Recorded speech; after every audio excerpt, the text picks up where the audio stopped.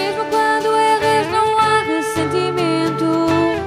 Ele permanece sempre, espera o teu arrependimento.